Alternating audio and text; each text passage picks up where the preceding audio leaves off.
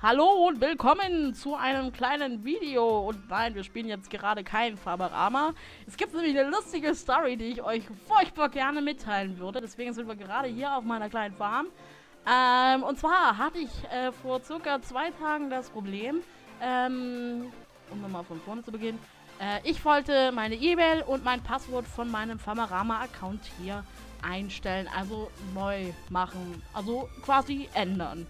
So, sowas ist ja generell ja kein Problem, ja.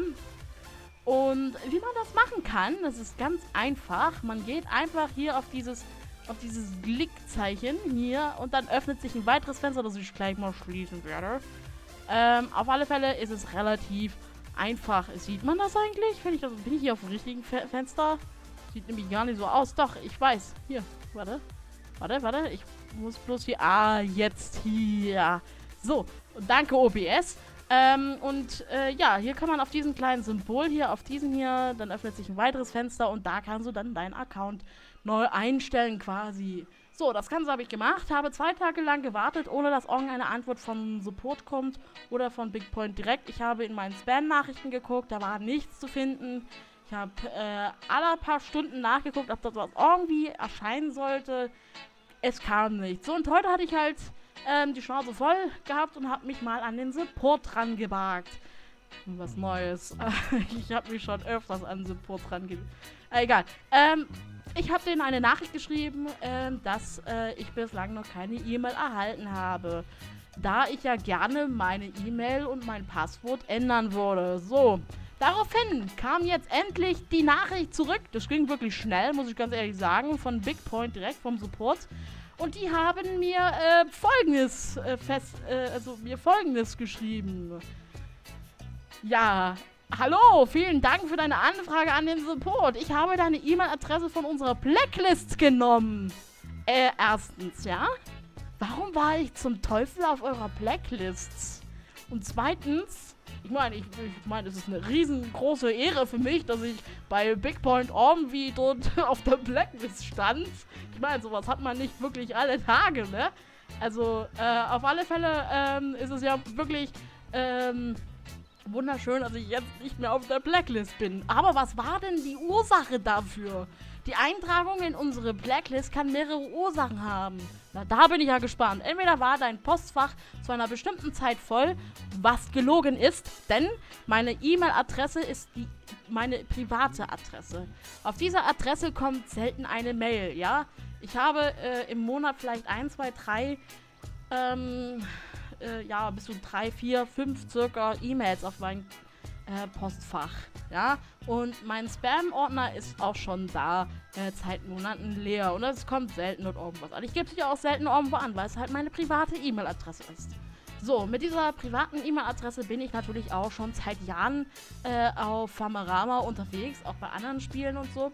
Ähm, auch bei Spielen, die Big Point äh, hat, ja. Ähm, ich war zum Beispiel auf Fantasy Rama, dann gibt es noch irgendwas anderes von Big Point. Habe ich jetzt schon längst vergessen, weil ich es lange nicht mehr gespielt habe. Ähm, und schon mal stimmt diese, diese Ursache nicht. Kommen wir mal zur nächsten Ursache. Erstmal schöner Rechtschreibfehler. Du hast eine automatische Antwort auf unsere E-Mail generiert. Sehe ich aus wie so ein verfickter Bot? Wie, wie, wie, wie, wie macht man sowas? Wie, du hast eine automatische Antwort auf unsere E-Mail generiert. Was, was, was, bin ich Terminator oder sowas? Das stimmt schon mal gar nicht, ja? Finde ich schön, dass sie so etwas als Ursache sehen. Oder du hast unsere Newsletter abbestellt. Erstens, ja, ich bin kein Mensch, der irgendwelche Newsletter äh, bestellt oder sonst irgendwas, ja, äh, oder abonniert. Ähm, auch würde ich bei BigPoint jetzt erstens jetzt wirklich keine Newsletter bestellen. BigPoint ist nämlich so eine Firma, die mir von äh, in linken Ohr reingeht und beim rechten Ohr wieder rausgeht. Also die Firma geht mir total am Hut vorbei, ja. Ich würde auch ungern, ich bin einfach wirklich niemand, der sich für ein Spiel relativ gut interessiert, ja. Äh, und das ist nun mal das Problem in der heutigen Zeit. Spiele sind aktuell immer nur dann, ähm, wenn sie gerade rauskommen, dann halt, hält diese Interesse, diese, ne, ihr wisst, was ich meine, der Interesse halt, ähm, hält vielleicht einige Tage und das war's. Der Hype ist vorbei. Ja, und so ein Spiel ist halt auch Farmerama, ja. Ähm, wenn du es ein paar Stunden gespielt hast, ein paar Tage oder vielleicht Wochen sogar, hast du quasi alles gesehen, alles erlebt und so weiter und so fort. Und dann hat das Spiel, hat dann, dann hat das Spiel einfach keinen Reiz mehr, ja. Äh, das gleiche ist auch wie bei, äh, bei Minecraft zum Beispiel ist da auch ein gutes Beispiel, ja.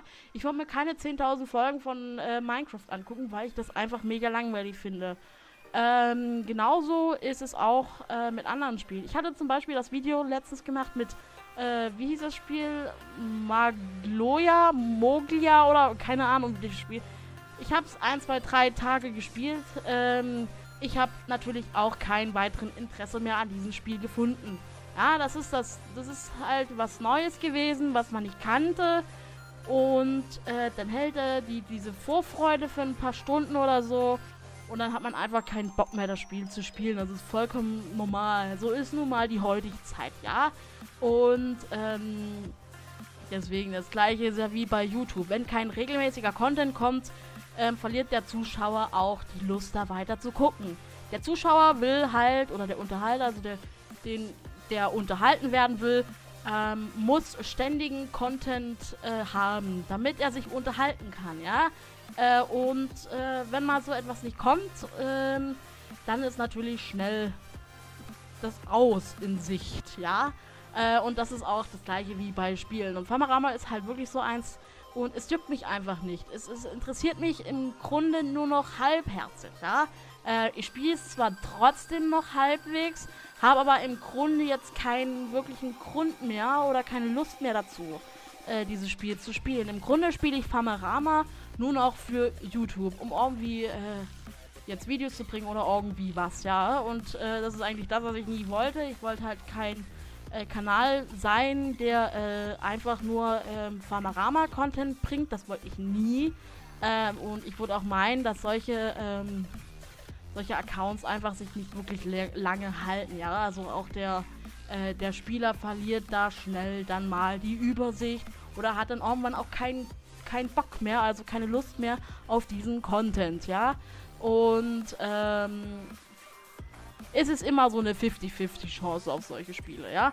Ähm, es gibt natürlich immer wieder Leute, äh, die sich dafür immer noch weiterhin interessieren, aber die Frage ist halt, wie lange noch, ne? Äh, vielleicht kommt irgendwann wieder ein anderes Spiel, was vielleicht doch noch ein bisschen interessanter ist als Panorama. Und ähm, ich, äh, ja, ich habe das Video schön in die Länge gezogen. Schön, acht Minuten jetzt. Ähm, ich hoffe, ihr habt mir zugehört. Ich freue mich auf alle Fälle, jetzt endlich nicht mehr auf der Blacklist zu sein. Dankeschön, Big Point. Ich freue mich. Aber auf alle Fälle guter Service, ja. Also der so Support, der hat eigentlich relativ zügig geantwortet. Kann ich nur empfehlen. Wenn ihr Probleme habt, so wie ich immer, ich meine, es ist jetzt nichts Neues, wenn ich irgendwie Probleme mit Big Point habe. Vielleicht bin ich auch deswegen auf der Blacklist. Äh, ähm, ja, dann werde ich mich mal losreißen, jetzt vom Mikrofon und an die Tastatur wagen und den nächsten, Bewe äh, den nächsten Beschwerdebrief schreiben an Big Point. Wie gesagt, ich bedanke mich fürs Zuschauen und wir sehen uns dann das nächste Mal wieder. Schaut mal bei den anderen zwei Videos raus äh, und äh, lasst ein Abo da oder was weiß ich. Und ansonsten, danke fürs Entfernen der Blacklist und wir sehen uns. Macht's gut. Tschüss.